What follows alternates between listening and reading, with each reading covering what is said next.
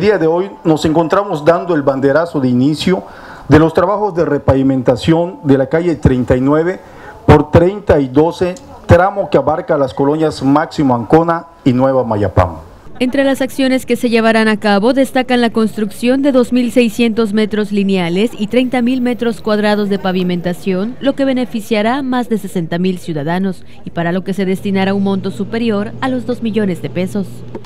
Los trabajos se realizarán en esta calle que lleva más de 40 años de antigüedad y se espera que los mismos concluyan en un periodo aproximado de cuatro semanas.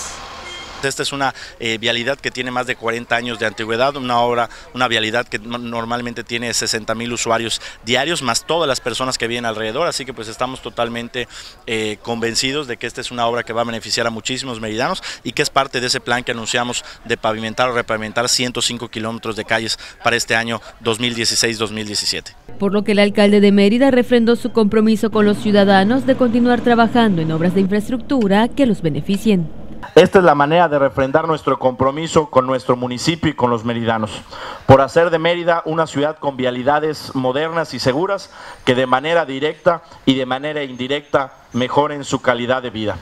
Y sí, Empezamos acá el primer año y pues estamos empezando también el segundo, es el primer evento que tengo después del informe de actividades. Con una inversión superior a los 2 millones de pesos se realizarán los trabajos de mejoramiento de infraestructura urbana al oriente de la ciudad, los cuales vienen a reforzar los hechos anteriormente, sumando un total de 4 kilómetros de calles y 40 mil metros cuadrados de pavimentación.